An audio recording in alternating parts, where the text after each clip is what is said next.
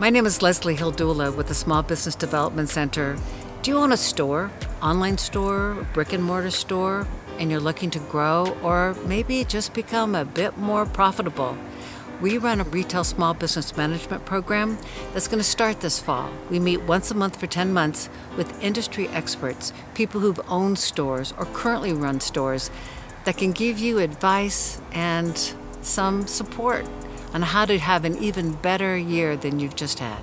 So check out the Small Business Development Center at your community college for the Retail Small Business Management Program. It starts this fall, and we have scholarships.